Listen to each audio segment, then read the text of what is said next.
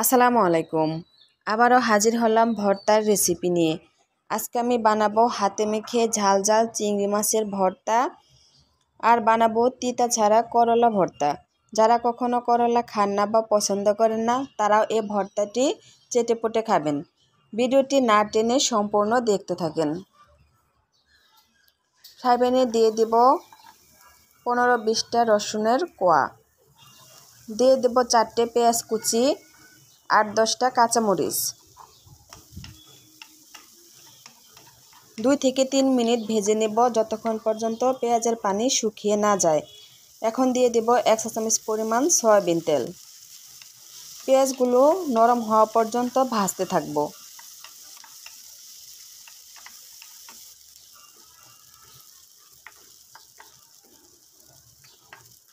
যখন পেঁয়াজগুলো এরকম নরম হয়ে যাবে, তখন আমি দিয়ে দেব সাত আটটা চিংড়ি মাছ। চিংড়ি মাছের খোসাগুলো আমি ছাড়িয়ে নিয়েছি। চুলা আঁচটা মিরা মাছের রেখে এখন আমি সব কিছু ভালোভাবে ভেজে নেব। যতক্ষণ পর্যন্ত চিংড়ি মাছগুলো ভালোভাবে সেদ্ধ না হয়।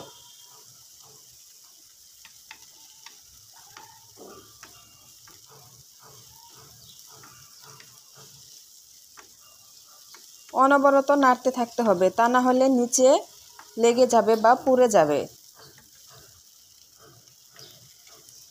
এগুলো আমার ভাজা হয়ে গেছে। এখন আমি উঠিয়ে নিচ্ছি। এখন আমি দিয়ে দিব পাতলা করে কুচি করা করলা।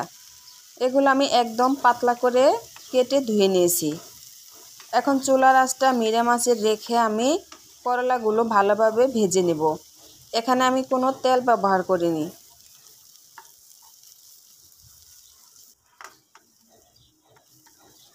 যখন করলাগুলো ভালোভাবে সিদ্ধ হয়ে যাবে, তখন আমি এগুলো উঠিয়ে নিব। আমার কাছে এরকম সিদ্ধ হলে ভালো লাগে। আপনারা যদি চান, তাহলে আরও ভেজে নিতে পারেন। এখন আমি দিয়ে দেব দশ বারোটা কাঁচামরিচ, চারটে পেঁয়াজ কুচি বিশ পঁচিশটার মতো রসুনের কোয়া, এক ইঞ্চি পরিমাণ আদা আমি চাকচাক করে কেটে নিয়েছি। দিয়ে দেব পরিমাণ মতো লবণ। এখন দিয়ে দেব সাত আটটা চিংড়ি মাছ কোয়াটার চা চামচ পরিমাণ হলুদের গুঁড়া, এক চা চামচ পরিমাণ সয়াবিন তেল।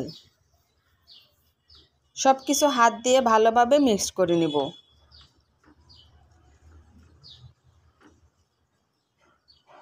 এখন দিয়ে দিব আমি অল্প একটু পরিমাণ পানি, যাতে মাছ আর পেঁয়াজ কাঁচামরিচগুলো ভালোভাবে সিদ্ধ হয়ে যায়। ঢাকনা দিয়ে ঢেকে মিডিয়াম আছে মাছগুলো আমি ভালোভাবে সিদ্ধ করে নেব।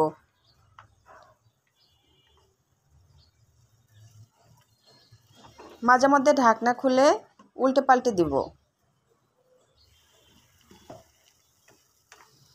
এখন আমি ঢাকনা ছাড়াই রান্না করে নিব যতক্ষণ পর্যন্ত পানিগুলো ভালোভাবে শুকিয়ে না আসে।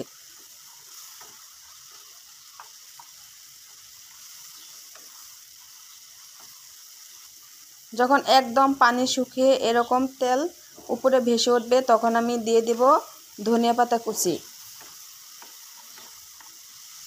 এখন আমি চুলাটা বন্ধ করে দিব।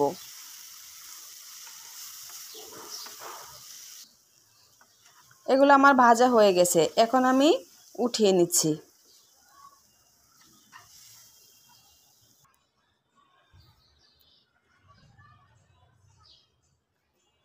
এখন আমি প্লেটে নিয়ে নিচ্ছি চারটে শুকনো মরিচ আর একটি পেঁয়াজ কুচি। মরিচগুলো ভালোভাবে ভেঙে নিব। এবং পেঁয়াজের সাথে ভালোভাবে মেখে নেব, যেন পেঁয়াজের রসগুলো ভালোভাবে বের হয়ে আসে। এখন আমি কাঁচামরিচগুলো হাত দিয়ে ভেঙে নিব।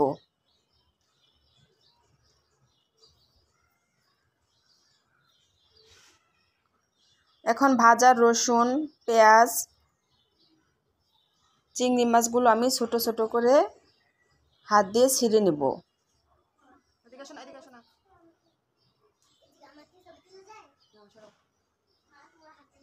দিয়ে দেব একশো চামচ পরিমাণ সরিষার তেল।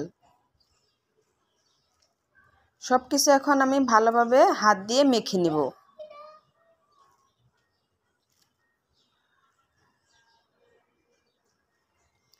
ভর্তা যত ভালোভাবে মাখানো হবে, ভর্তার স্বাদটা তত বেশি ভালো হবে। এজন্য চেষ্টা করবেন ভালোভাবে মাখিয়ে নিতে। এখন আমি দিয়ে দেব ভেজে রাখা করলা। আলতোভাবে সব কিছু মিক্সড করে নেব।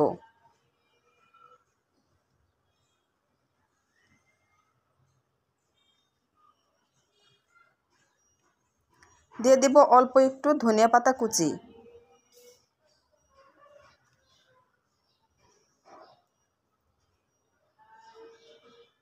করলা ভর্তাটা আমার রেডি হয়ে গেছে। এখন আমি হাতে মেখে চিংড়ি মাছগুলো ভর্তা করে নিব। প্রথমে কাঁচামরিচগুলো আমি হাত দিয়ে ভালোভাবে ভেঙে নিব।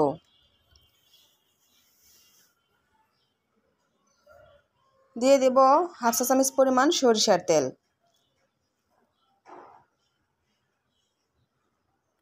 এখন চিংড়ি মাছগুলো আমি হাত দিয়ে ছোটো ছোটো করে ভেঙে নেব। একদম মিহি করে ভাঙার দরকার নেই। আস্তে রেখে আমি চিংড়ি মাছগুলো ভেঙে নিব।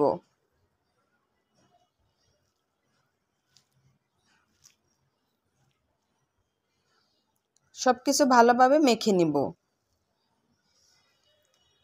চিংড়ি মাছের ভর্তাটা আমার হয়ে গেছে। দেখেন, হাতে মেখে একদম সহজভাবে হয়ে গেল দুটি ভর্তা। গরম ভাতের সাথে এই ভর্তা হলে আর কিছু লাগবেই না।